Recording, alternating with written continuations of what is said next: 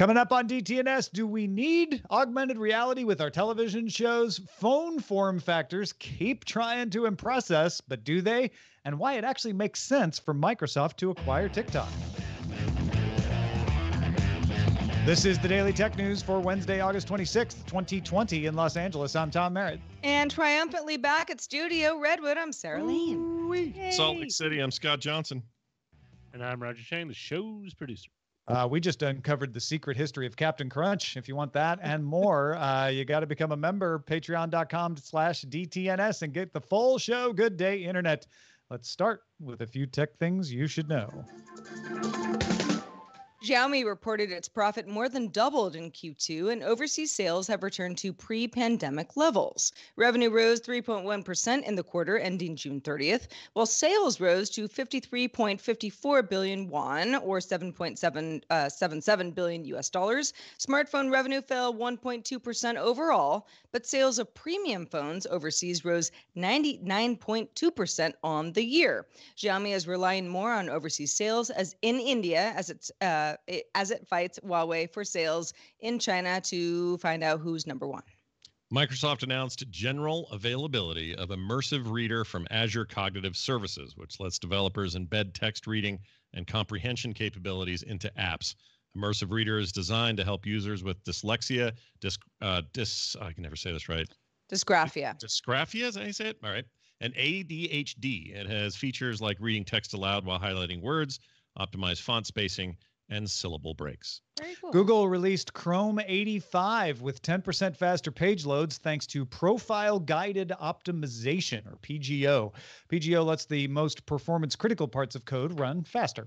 Google says this should be especially helpful when you have many tabs open or multiple programs running. You can also now collapse and expand tab groups to save some space in your tab strip, and Chrome 85 will block you from downloading EXEs and APKs over HTTP if the page itself is secured with HTTPS. Progressive web apps can also now create app shortcuts on Chrome and Windows. In Apple's upcoming iOS 14, apps will need to ask permission of users before they can collect the Apple Device Identifier or IDFA. This is how many ad networks, including the Facebook Audience Network, tracks users to target ads. Facebook sent a warning to developers that use the Facebook Audience Network for ad revenue, saying revenue could drop by 50% or more, and may no longer make sense for Facebook to offer the audience network for iOS 14. We'll try to needle Apple developers while they're mad at Apple for other reasons. That's yeah. interesting. Poking a poking the mad horse. DJI announced the new OM4 camera stabilization product. OM4 now features a magnetic attachment system, an adhesive or side-on, excuse me, slide-on accessory attaches to the phone to enable a magnetic attachment. The gimbal has multiple upgraded shooting modes and a upgrade to the active track to better distinguish between subjects, including people and their pets. Gesture control comes from DJI's drones as well. The OM4 is available now for $150 US. And Android Authority published a video of LG's forthcoming phone, the Wing. The Wing is a dual screen phone with each screen on top of the other so the top one can rotate open into a T shape. And yes, LG had a feature phone that did this like back in the early to mid 2000s. In the uh, video that Android Authority published, the lower screen can show controls like a keyboard, while the main phone in the horizontal mode shows your main thing like your browser or your map. LG has yet to confirm the device. Well, speaking of phones that uh, I don't know, we're getting creative here. Asus's ZenFone 7 and 7 Pro feature a more durable version of its rotating rear camera that can flip over to take selfies, but now also includes an extra zoom lens as well as an OLED display and a 90 uh, hertz refresh rate. It still has the 5,000 milliamp battery, uh, which is very good. The phone is on sale in Taiwan with the ZenFone 7 at 21,990 new Taiwanese dollars, which is around 749 US dollars, and the ZenFone 7 Pro at 27,990 new Taiwanese dollars, which is around US $953. The phones will come to select European markets September 1st, with pricing yet to be announced. I okay, so the ZenFone feature isn't new, but they said they made it like twice as durable. Uh, so instead of 100,000 flips of the camera, it's 200,000. But that idea that I would get the same camera, selfie or front facing, uh, or rear facing, I guess, uh, is is cool. I like that. Yeah. More moving parts makes me nervous, you know, but I, I do like the idea that, oh, I don't have to have a notch. I don't have to compromise on my selfie camera being any different than my other camera. Uh, it didn't really like light the world on fire with the Zenfone 6. Uh, so maybe I, you know, a little OLED and 90 hertz refresh rate probably isn't going to change that, but maybe the more durability will. I don't know. This is a good phone. It's well reviewed. Yeah, yeah and I mean, I think uh, the folks who were sort of like, well, you want a rear and a front facing. I mean, what really ever took advantage of that besides a couple of apps that you know were able to you know take a photo you know front and back at the same time or video kind of thing eh, a fun novelty but most people don't use a phone that way. So to have a single camera that works in the array that you wanted to that is you know of high quality that does make a lot of sense as long I, as it doesn't you know you know pinch off in your pocket yeah, I agree. I also, I mean, this is a side note, but I don't like it when these guys tell me how many times I can do a thing or how many charges I can charge a thing, even though it's astronomical numbers, 200,000 times, a lot of times. I hate knowing there's a finite number or a close to finite number. Don't tell him the odds. I really don't. I hate it. I would much rather believe it. Just make me believe it will forever. It'll last know, a long time. Yeah. yeah, and I don't have to think about it anymore because then I'll just think of that number. Did I do that five times today? Oh crap! I wonder what that does to my total. It's just my brain. I'll admit it, but I don't like it. Well, I, I, I lost you're alone the, there. Yeah. No, no, I don't think he's alone either. Yeah.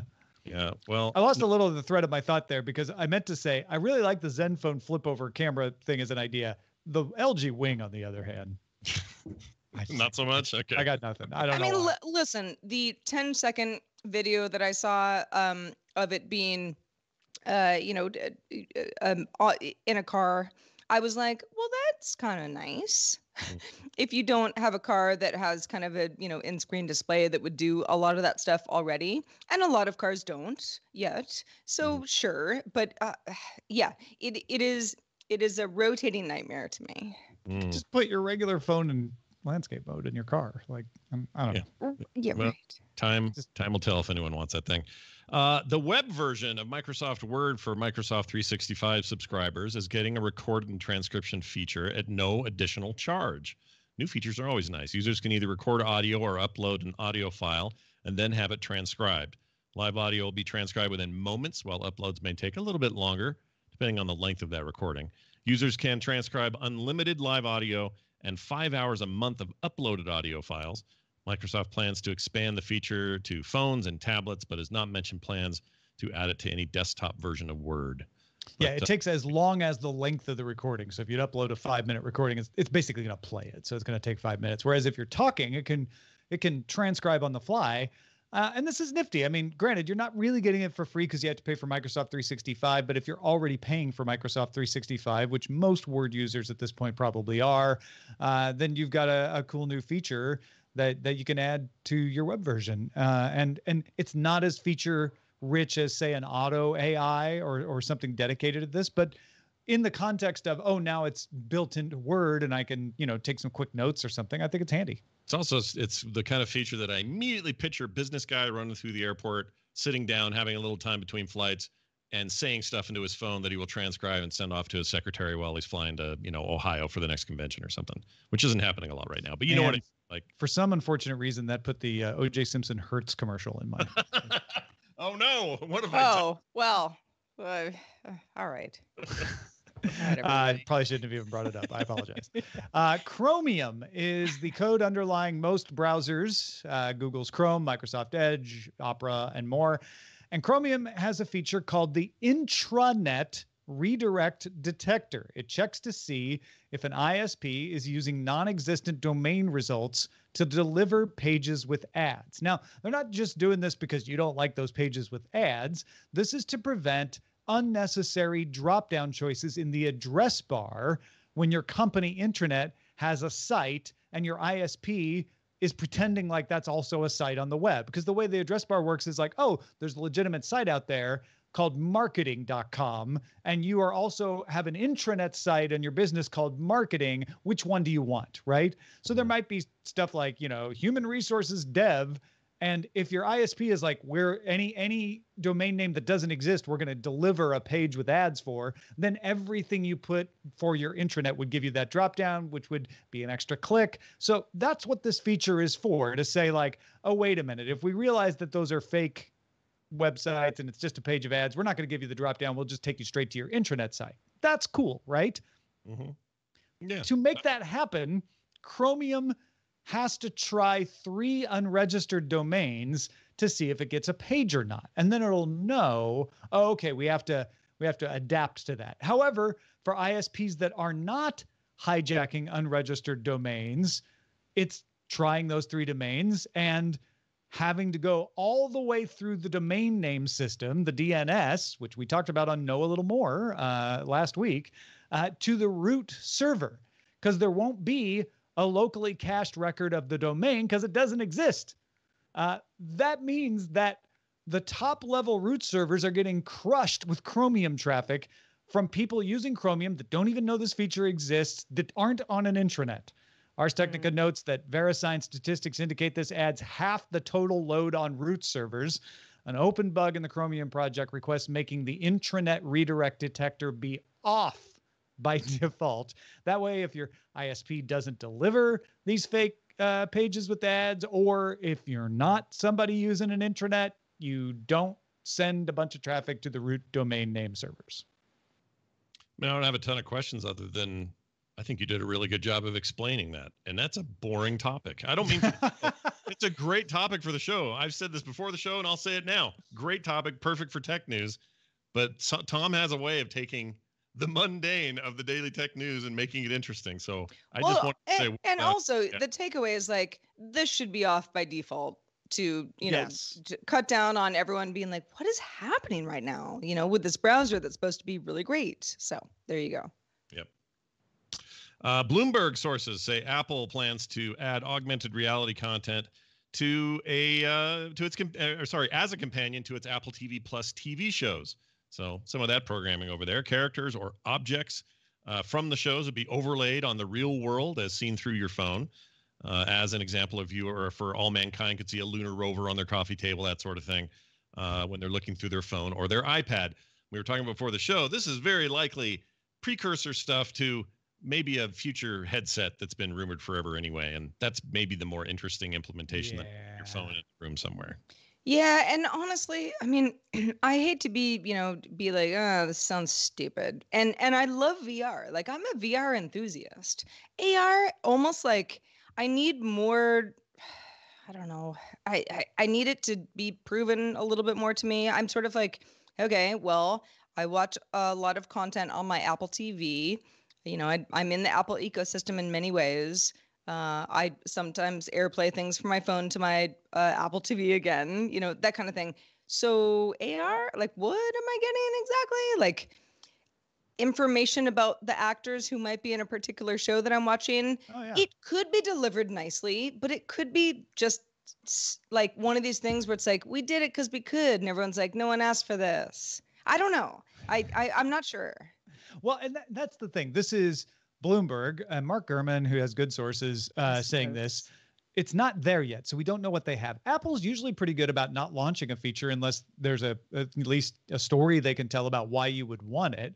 Right. Uh, so launching this before there's a headset I'm very curious to see what they're going to say. Like, oh, you could you could see the director's commentary, and through your phone, you'll see the director standing there talking to you, or or maybe there is additional content to the plot that happens off your television screen and in your room. That might be fun. All of those things feel like going back to what you said, Scott. Feel better if you actually had a headset on rather than having to hold up your phone or your iPad. Yeah, there uh, there is one case uh, where, and I was thinking about this before the show, and I've, it's it's formulated a little better in my mind how I could envision it. But let's say you're watching something that's very special effects oriented, and on screen is some sort of huge monstrous creature that's clearly been built out of CGI or something be able to pause the movie because you'd want to do that. That's the other thing is you don't want to miss the movie or the TV show you're watching. Right, right. And then look at my table and see a fully oh, formed 3D model yeah. of that object, and then I can kind of look around it and and and then if I go around the back, I see the back's missing, and there's text there that says, "Since the back of the monster was never shown, it was never uh-huh. actually it was never rendered." Then it gets interesting. Then I'm like, ooh, d- info I never would have heard otherwise. That yeah, I could get in some extra features, documentary style or something. But I don't know that some of that stuff appeals to me. The AR is good enough on phones that you'd get the kind of fidelity and quality quality that you're looking for. But ultimately, it still feels like a precursor to I want this on my head and I want it to be small and I want it to be unobtrusive and just kind of a natural flow while I'm watching things. And maybe that's what. Oh, I think I figured it out. I think I cracked it. Mm. Clothing and furniture. When you're watching For All Mankind set in the, the 60s and you're like, man, that's a cool retro coffee table. I love. Uh, what, love what would that it look like in my house? yeah. yeah. Boom. mhm. Well, Yeah. you just told them how to monetize it. That's not. We we just give them more reason to make money. Nope. Yeah, now Apple will know. Why do they ever come out with any technology? Right? But also, you know, for anybody who's sort of like, but why would they come out with a technology a, a year plus ahead of, uh, you know, an AR headset? Let's say that's happening, yeah, right? right. I mean, it's a little bit like uh, before the Apple Watch. There were a lot of things that a phone could do. Mm-hmm. And people kind of got used to that, but it was maybe Uh-huh. a little bit cumbersome. And then it was like, now we have this new gadget that makes all the things that you want to do better, better. Mm, Yeah. So I think there's, true. you know, there's build up the appetite for it. That's a really good Exactly. Well, um, did anyone remember Fortnite in this show to date? Never yeah, heard of well, yeah, I know. The new season of Fortnite still exists, everybody. Arrives on August 27th. Uh, highly anticipated, but because Apple is blocking Fortnite from the App Store, the new season can't be added to existing iOS versions of the game. And Epic seems to have decided not to update macOS versions either. As a result, Epic will no longer let folks pardon me, playing on iOS or macOS crossplay with other versions of Fortnite. They'll be able to con- uh, continue to play against each other, but again, cross-platform gets weird. Yeah, so fracturing of the worlds. You can if you're in the Apple ecosystem, you can play with each other on the old season. If you're not, you can play with each other across all the other platforms, Windows, Xbox, etc., Android. Um, I I'm sure there might be a reason where Epic said, "Look, we could put this in the Mac OS version because technically we don't go through the App Store, but that legally might be fraught with peril because it would, you know, uh, put us in danger of a developer agreement, and it's already dangerous enough. I do think it it feels like they're they're just saying like, well, you know, if Apple's going to be like this about the way we're being, uh, then we're just not going to let anybody get the new season on on anything. Um, but that said, given that I mean, Epic could change this anytime they want. They could take away the alternate payment system from Fortnite and Apple will unblock it. So you can decide who you want to blame. But given that Fortnite isn't uh, available to be updated for the new season through the Apple App Store, cutting it off from the rest of the platform seems like the only choice. You don't want to have people wandering into each other in two different seasons. the messed up thing about this in my mind is that on the PC side, uh, well, actually in the in the cross platform uh, ability of the of the game since its inception, that was one of their big spearheaded ideas. They were like, "Good look, we're gonna we're gonna get away from this idea of these walled separate gardens. Everybody in PS4 is playing PS4 people. Everybody on PC is playing PC. We're gonna make it work with everybody." And a lot of people didn't believe it would work, but it did. You had phone people playing with PC people and and and everything else in between. This feels like going back on their own you know, big idea that everything should be in one big pile, one server to serve them all sort of idea. And instead, they've had to, I mean, this means they've literally had to set up virtual servers or actual servers to run older versions of the of the build in in Mm. the meantime. And that's just it's weird compared to what their plans were. Yeah, which means they are at least trying to support the players on Yeah. Apple who eh, who still have the app on their phones and and not they could have just said, well, you're you're out of luck. Complain to Apple, right? So they they did go that far. Uh, folks, if you want to get all the tech headlines each day in about five minutes, be sure to subscribe to dailytechheadlines.com. Andrew Ross Sorkin and Mike Isaac from the New York Times published an in depth look at how Microsoft got pulled into possibly buying part or all of TikTok. Uh, it's been going on longer than you think, according to their sources, and they have like a dozen more sources. The U.S. Committee on Foreign Investment began an investigation into ByteDance in November. We talked about this last November on DTNS. What we didn't know is that ByteDance investors Sequoia and General Atlantic began acting then as go betweens with ByteDance, the company they're investing in, and the U.S. administration. What they determined was the US said it wanted ByteDance to reduce its ownership in TikTok, restructure corporate governance. That's something the US successfully got ZTE to do. And move all the US data to US based servers. Remember, TikTok says that all the data is on US servers, but it's also backed up in Singapore. They're like, nope, no more Singapore, all of it on in US. So ByteDance turned to Microsoft as a US partner, not under antitrust scrutiny, that could help them meet those conditions. Plus, ByteDance CEO Zhang Yiming is a former Microsoft engineer. Talks with Microsoft began in July, so before all this stuff broke, and in part began, and in part because of US China tensions, Microsoft and ByteDance we're talking about Microsoft taking a minority investment. They're like an acquisition would probably uh, not fly. It would be it bring too much attention. Microsoft really just hoped to get TikTok off Google Cloud and onto Azure, as I've been saying. This would fulfill the U.S. conditions. They ByteDance would be reducing their investment. They could probably do the government restructure without Microsoft, but then they Microsoft would help them move all the data into the U.S. Reduced ownership by ByteDance and US data on US Azure servers would be the thing that would be a win win for ByteDance and Microsoft. So it looked like everything was just a matter of dotting I's and crossing T's. But as talks went on, Microsoft realized the advantage of owning TikTok and especially TikTok data. That TikTok data would be especially beneficial for Microsoft's data science arm in training machine learning as well as a benefit to Microsoft's advertising business. Don't forget, they sell ads on MSN and Bing and other things. They make about $7 million off of advertising. So the two companies started to see an acquisition as maybe a cleaner option after all. In that scenario, Microsoft would let TikTok run as a standalone unit, similar to how LinkedIn and Mojang, Mojang which makes micro, Minecraft, run right now under Microsoft. They would just buy TikTok and let it do its thing. On July 31st, the Committee on Foreign Investment Analysis was done. And the recommendation at that time was that ByteDance be ordered to sell TikTok to a US owner, and they had one ready, Microsoft. Chinese shareholders would only be allowed to keep a minority investment, and that's what ByteDance wanted. They're like, we'll sell it to TikTok, we'll just keep a small cut of it.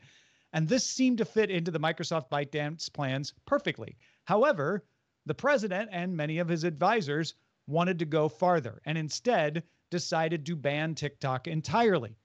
The president called Satya Nadella, gave him 45 days to complete a deal, which has now been extended, but at the time, that's what happened, adding that ByteDance should retain no ownership now, and the deal should benefit the government some way, such as job creation or other economic benefits, if not a payment into the Treasury somehow.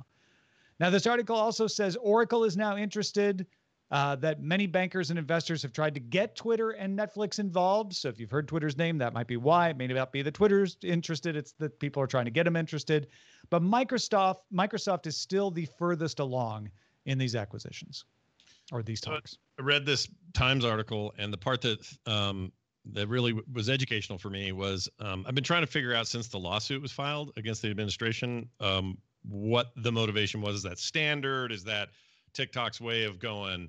ah, we got to fight it somehow. Or, you know, I, did, I just didn't know, don't follow this stuff to know, to know for sure. But in that article, it made it pretty clear that 45 days is not a lot of time to do anything uh, in, in regards to the transference of ownership of gigantic. And it's since properties. been extended to 90 days, which still isn't a lot. Still not a lot of time. Like even in the tiny companies I've worked for before, the time frames are either needed to be fluid or if there was a deadline, sometimes it meant we were going to kill ourselves to get there. And and I and I can't imagine, even in 90 days, how this is going to go at all smoothly. So, my biggest takeaway from all of this is I think there's a solution. Someone's going to, this is, this is going to end up happening, and Microsoft's probably going to be where it ends up. All of that stuff that everybody's predicting is probably true. I just don't think they've given it enough time to do it. And maybe they can still extend that. Maybe this lawsuit is a way of, well, the article argues that that may be a, a stall tactic and it may be yeah. the only one they have. So if it is, then then great. But I just think they need time, and I don't mean just TikTok. I mean Microsoft needs time, and, and they they've had more time than I thought they had since this started in right, July. Right. That's well, still that's not true. a lot extra though. And yeah, if they can get a temporary restraining order on the executive order while they litigate it, uh, that's all they need. They just need to say, hey, you can't enforce that executive order until we've finished our court case, even if they lose the court case and the executive order goes into effect. Right. I mean, it, it- clearly the situation is fluid, and who knows at this point. I mean, it changes by the day, but it does kind of bring me back to when Microsoft was first floated as made by TikTok. I mean, a lot of us were like, "What? Why? when did this happen?" And it turns out, you know, there's more to the story, which often happens with acquisitions that seem a little, you know, out of the blue. So, the, you know, there's there's there's more to it. Yeah, and it Yeah. talks article gets in deeper into how Microsoft's got a lot of stuff into their in their arsenal, um, including the money to do it and also the lack of scrutiny in terms of you know uh, anti-competitiveness and all that stuff right now. But they also lack severely in the social data department, and so I think that's an important key thing here is that Microsoft one of the things Microsoft really wants out of the deal, if they get the deal, or what they would want, is all this social data that they can then use to build stuff. And Yeah. that's what everybody wants right now. And, and honestly, what they want most is somebody paying for Azure or being able to show off Azure running a service as big as TikTok, right? That's number one, whether they keep it or not. Then the fact that they have a model with LinkedIn and Minecraft, okay, so we know how they might run it. Just let it go. You know, they they wouldn't mess with it. That seems to have worked very well for both of those units. Uh, and then they could spin it off if they want, keep it as an Azure client. But I hadn't thought about the data science stuff, and I, I definitely hadn't thought about the advertising aspect of it. That could be a huge boon for Microsoft's advertising service, which isn't small, but it's not on the level of Google and Facebook. yeah. And in 90 days, if they can pull it off, it suddenly becomes very big. So, Yeah. Well, if you have thoughts on this or anything else, you can join a conversation in our Discord going on right now, 24-7, in fact, and you can join by linking to a Patreon account at patreon.com slash DTNS. Let's check out the mailbag. Oh, let's. Chris wrote in and said, I want to thank DTNS for not calling services apps. Hmm, This is something that, you know, it gets Chris's goat. He, he says, I occasionally hear a slip up, but other prominent publications call the many services we use apps the Zoom app, the TikTok app. It greatly confuses users into thinking that the square on their phone contains the totality of what is encompassed in an extensive, complex services available in many sovereign territories. The app economy died with the $3 flashlight app. Remember that one? It is reminiscent of the late 1990s when people would refer to services like eBay as web pages. Chris says, I think it would be a great know a little more segment to help people understand a little bit more about the app on their phone being just a view, like logging into a website, into a service that has many complexities. Yeah, I mean, I try to only talk about it as an app when we're talking about it as an app, like when we're talking about, oh, Sure. they would put the app on the store, that sort of thing. Uh, so, Chris, I'm I'm with you there. It, it is more than a service, and it reminded me of explaining uh, the web to Sherry Tornatori at Half Price Books in 1997, and she was like, "So where is this website?" And I'm like. It's out there. Like she was so used to installed software that, that Mhm. it was a had to it was a change in perception to be like, what do you, what do you mean out there? Out where? Uh, so so yeah. This is a fun one to apply to the to the whole Fortnite mess because if you think about it, it applies Yeah. there too. Not just it's just not a not a game or an app on your phone. It's a service that that is, that game is a window to, Yeah. and it's the same thing. So The app is blocked, but the service still exists out there. Right. You just can't get to it. Yeah. Right.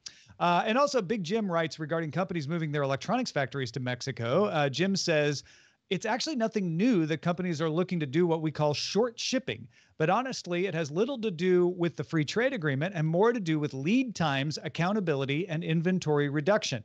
China and Asia are still much cheaper to produce in. And even with the Section 301 tariffs, many suppliers to companies are simply eating the difference with the long term goal of stabilizing the market and writing things out.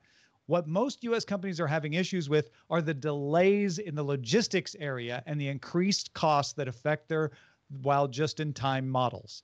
I expect to actually see more development in South America because of this and less US development in Africa in the medium term. So so Jim is saying, look, it's it's more about logistics. It's more about getting that stuff here fast. And when when you're, you know, in short shipping, uh, that means you get stuff here faster. Thank you, Jim. He also pointed us to a story from FreightWaves that shows US imports from China are booming even during the trade war and the lockdown because people are spending less money on services like travel and eating out and more money on stuff like furniture for your home office or home improvement.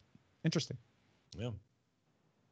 Well, shout out to patrons at our master and grandmaster levels, including Rick Hubner, Martin James, and Deracia A. Daniels. Also, thanks to the one, the only Scott Johnson. Scott, you're a busy man. What have you been up to? Well, there's a lot of stuff going on. There's brand new comics up and podcasts and all sorts of things. But I want to mention that Tom and I have been working very dil- diligently with a couple of producers on Current Geek Chronicles, which successfully funded last month, which means we are about to launch our second episode. First one was put out to sort of get people excited during the Kickstarter.